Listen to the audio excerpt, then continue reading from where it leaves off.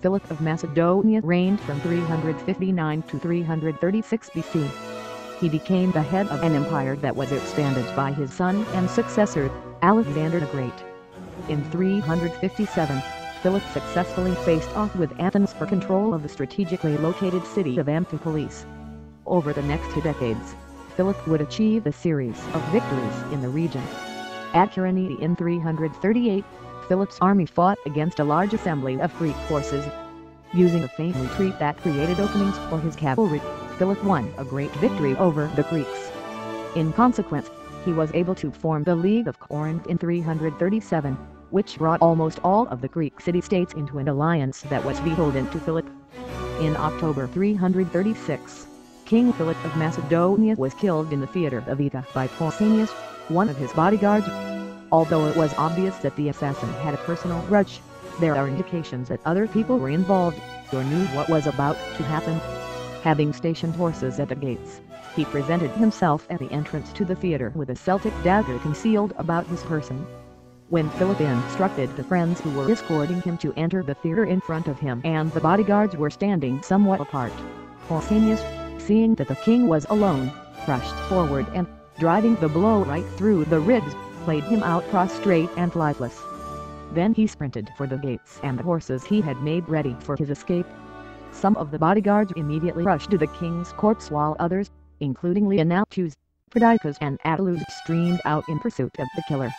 Alexander the Great was just 20 years old in 336 BC, when he emerged as king of Macedonia, following the death of his father, Philip. For 12 years, Alexander's army swept aside rival empires in Persia and Egypt in a rapid eastward expansion.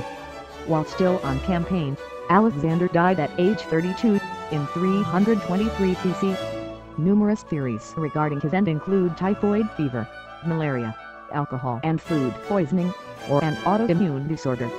Not once do any of the historical sources mention vomiting or even nausea as one of Alexander's symptoms. So what did kill Alexander? According to the historical accounts, Alexander had performed the divine sacrifices those prescribed for good fortune and others suggested by the priests. Each day he was carried on his couch to perform the customary sacrifices, and after their completion he lay down in the men's apartments until dusk. During this time he gave instructions to his officers about the coming expedition and sea voyage, for the land forces to be ready to move on the fourth day, and for those sailing with him to be prepared to cast off a day later.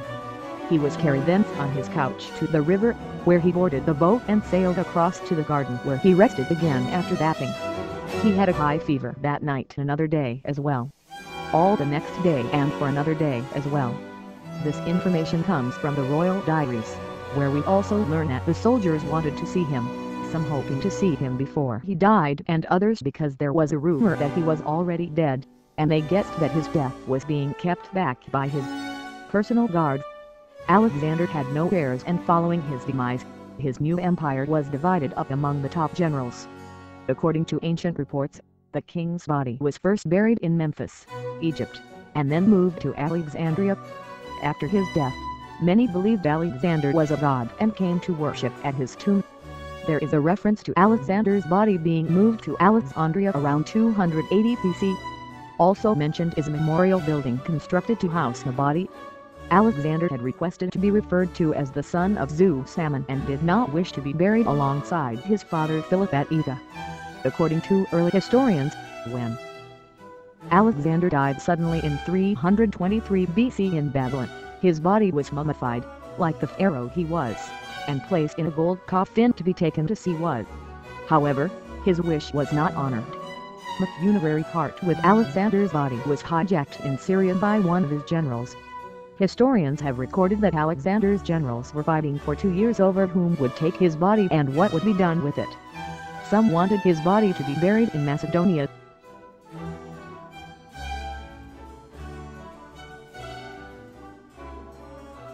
Although the final resting place of Alexander the Great is one of history's most enduring mysteries, we do know that many of the kingdom's rulers were buried in Aegae. In fact, Aegae is best known today for its royal tombs, although there are many other archaeological remains at the site as well. The Macedonian capital was Aegae, which may be translated to mean goats. which is appropriate considering that the main economic activity of the Macedonians during that period was animal husbandry. Aegae is located on a plateau on the eastern foot of the Vermio Mountains, on the southern edge of the Haliakmon Plain, about 75 kilometers to the southwest of Thessaloniki, the second largest city of Greece. The royal necropolis is one of the most important archaeological remains at Aegae. More than 500 tumuli, dating to between the 11th and 2nd centuries BC, have been identified, while three royal burial clusters have been excavated by archaeologists over the decades. While Aegae has yet to be completely excavated, other important monuments that have been unearthed include the Monumental Palace, the city walls, and the theater. The three great tombs of the royal tumulus at Vergina were excavated by the Greek archaeologist Manolis Andronikos. It was announced to the world that tomb II belonged to Philip. One of the pieces of evidence used to support this claim is a pair of greaves armor that protected the legs that are of different lengths. This showed that the armor was custom made for a person who had legs of different lengths. In more recent times, the claim has been reassessed and it has been argued that Philip was in fact buried in Tomb 1. The left bone of the male in Tomb 1 is shown to have sustained an injury which would have left its owner crippled for life. This would have agreed with the ancient sources, which state that Philip was injured in his leg. Tomb 1 also contained the remains of a young woman about 18 years of age identified as Philip's seventh wife, Cleopatra, and an infant child, it has also been claimed that Tomb 2 contained the remains of Arrhidaeus the half-brother of Alexander the Great and his wife, Eurydice. At least according to the Greek scholar Triantafyllos D. Papazois, the conqueror of the world should no longer be sought, as he has been done over the centuries, in Egypt, Alexandria or the oasis of Siwa, but is before our eyes to Vergina, ancient capital of the Kingdom of Macedonia, 70 kilometers from Thessaloniki.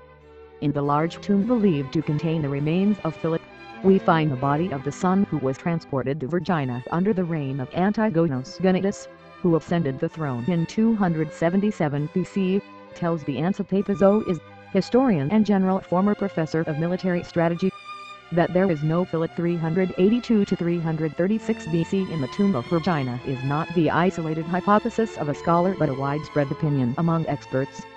The paleoanthropologist Antonis Bartsiokas has demonstrated thanks to the analysis of the bones that they have no peculiarities or wounds attributed by historians to the Macedonian king. Almost everyone agrees on my conclusions, says the scientist. And there is broad consensus also on the fact that the objects, including the armor of iron and gold, found in the tomb are of a later generation than that of Philip, and probably belong to Alexander.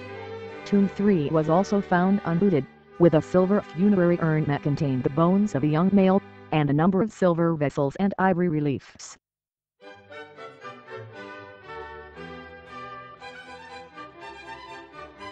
The king's body was cremated on a huge funeral pyre wearing a gold oak leaf crown with eight urns. Precious oils and fruit were thrown onto the pyre, and horses and many other types of animals were sacrificed and their bodies also thrown into the flames. One huge display shows examples of all of the different types of things found amongst the ashes of the pyre. His bones were then washed in red wine, wrapped in the purple cloth, covered with the oak leaf crown and then placed in a gold casket called a larnax. The casket was laid on a wooden couch decorated with gold and ivory figures and scenes and placed in the inner part of the tomb. The wood of the couch for the most part rotted away long ago, leaving the decorative figures.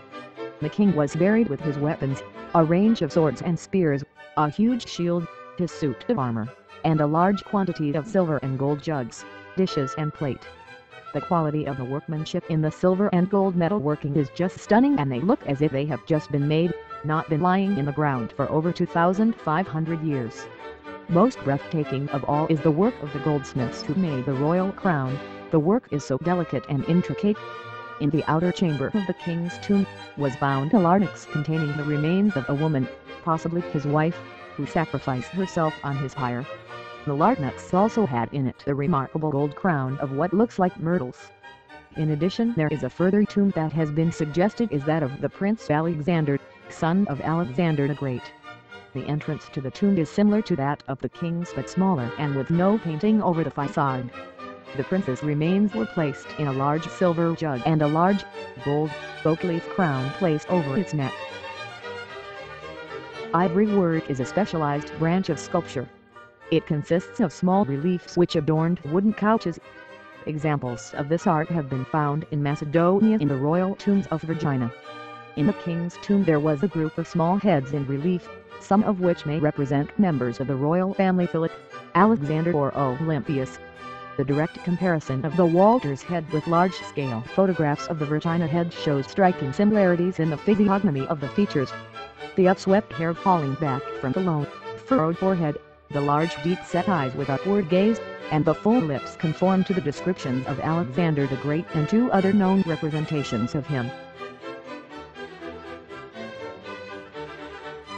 All in the moment through the gloom were seen 10,000 banners rise into the air with Orient colors waving, with them rose a forest huge of spears, and thronging helms appeared, and serried shields in thick array of depth immeasurable, anon they move in perfect phalanx to the Dorian mood of flutes and soft recorders, such as rape to hype of noblest temper heroes old arming to battle, and instead of rage deliberate valor breathed, firm and unmobbed with dread of death to flight or foul retreat, nor wanting power to mitigate and swage with solemn touches, troubled thoughts, and chase anguish and doubt and fear and sorrow and pain from mortal or immortal minds. Thus they breathing united force with fixed thought moved on in silence to soft pipes that charmed their painful steps o'er the burnt soil, and now advanced in view, they stand, the hoarhead front of dreadful length and dazzling arms, in guise of warriors old with ordered spear and shield, awaiting what command Third Mighty she had to impose. The sun was sunk, and after him the start of Hesperus, whose office is to bring twilight upon the earth, short arbiter twixt day and night, and now from end to end night's hemisphere had veiled the horizon round. See he had searched and lands from Eden over Pontus, and the pool mountains, up uh, beyond the river Obi, downward his fair Antarctic and in length west from Orontes to the ocean barred at Darien, thence to the land where flows Ganges and Indus. Thus the Ord he roamed with narrow search, and with inspection he considered every creature, which of almost opportune might serve his wiles, and found the serpent subtlest beast of all the field. Pleasing was his shape, and lovely, never since of serpent kind lovelier, not those bat in Illyria chawed Hermione and Cadmus, or the god in Epidaurus nor to which transformed Ammonian Jove, or Capitoline was seen, he with Olympias, this with her who bore Scipio the height of Rome. With tractably at first, as one who sought access, but feared to interrupt, sidelong he works his way, as when a ship by skilful steersmen brought night river's mouth or foreland, where the wind veers oft, as oft so steers, and shifts her sail. I, at Eleusis, saw the finest sight, when early morning's banners were unfurled, from high Olympus, gazing on the world, the ancient gods once saw it with delight. Sad Demeter had in a single night removed her somber garments. And mine eyes beheld a broidered mantle pale dyes thrown o'er her throbbing bosom. Sweet and clear there fell the sound of music on mine ear. And from the south came Hermes, he whose lyre one time appeased the great Apollo's fire. The rescue maid, Persephone, by the hand, he left to waiting Demeter, and cheer and light and beauty once more blessed the land. Bright gem of the Aegean, who will dare to ope the treasure thou hast given our kind, to take its measure, so beyond compare, and tell what thou hast meant for human mind,